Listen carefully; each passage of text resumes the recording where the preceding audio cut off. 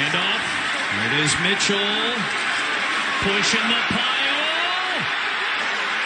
And got in there. Go! Touchdown 49ers, and they've taken the lead.